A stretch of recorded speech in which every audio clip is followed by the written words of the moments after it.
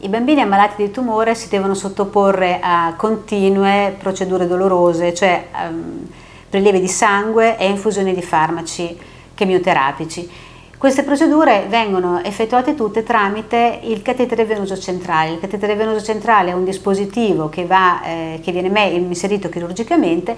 e ehm, in modo tale che sia sempre presente una, un accesso venoso, cioè un tubicino che esce dal corpo collegato con l'interno del corpo in cui vengono inseriti i farmaci. Per poter eh, posizionare il catetere venoso centrale i bambini devono essere addormentati in sala operatoria e il chirurgo deve fare un taglio sulla pelle, inserire il cateterino dentro il cuore e farne uscire un'altra parte dal, dal torace. Tutto questo è ehm, estremamente utile per i bambini ed estremamente importante. Esiste per oggi la possibilità in alcuni casi di evitare ai bambini il disagio della sala operatoria e anche del eh, mantenere un catetere eh, aperto che esce dal torace grazie alla possibilità di utilizzare le vene periferiche. Le vene periferiche sono le vene del braccio o possono essere le vene della gamba in queste vene può essere inserito lo stesso catetere che può salire fino al cuore,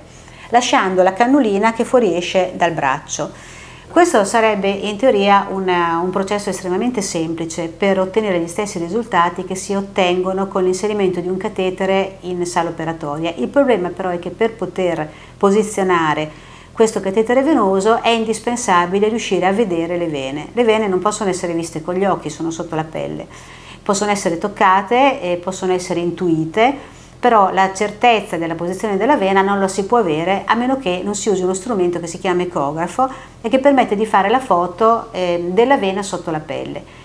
In questo modo è possibile non solo vedere esattamente dove deve essere punta la pelle per raggiungere la vena, ma è anche possibile capire quanto è grande la vena in modo da poter scegliere il tipo di cateterino, cioè il tipo di tubicino, da poter inserire in modo che possa raggiungere la sede che deve raggiungere, cioè una, una, una via centrale e che non danneggi il vaso sanguigno. Ciao, io sono Silvia, sono un'infermiera, vengo dall'oncomatologia di Trieste e poi da Bologna, sono arrivata a Rimini, conosco già questo tipo di macchinario, l'abbiamo utilizzato e posso dire che eh, rende la vita nei noi infermieri molto molto più facile. Eh, in alcuni casi, soprattutto nei bambini più piccolini, può essere complicato reperire eh, le vene per uno scarso patrimonio venoso, per un po' di ciccia in più e, o, o, magari per, per, paura del bambino. Per cui con questo tipo di macchinario che mette in, in, in evidenza su, subito, immediatamente le vene, io vado a colpo sicuro, nel 99% dei casi prendo la vena al primo, al primo foro, per cui il bambino ne viene fuori meno traumatizzato. Traumatizza meno il bambino in alcuni casi perché ci si gioca, avendo una luce verde si può dire tantissime cose, che so, è l'autovelox ogni tanto, oppure la luce di ultravioletti dei supereroi, tutte queste cose. Il momento del prelievo di sangue costituisce un momento particolarmente delicato e traumatico sia per il bambino sia per i genitori, perché comunque è una manovra di per sé eh, dolorosa a nessuno di noi, se ci pensiamo, piace essere pizzicati anche se il dolore dura poco per il prelievo. In realtà quando viene posizionato il catetere il dolore è più forte. Il fatto che il primo impatto del bambino è così traumatico e anche purtroppo violento crea un prerequisito negativo nei nostri confronti, eh, ci considera da subito come quelli cattivi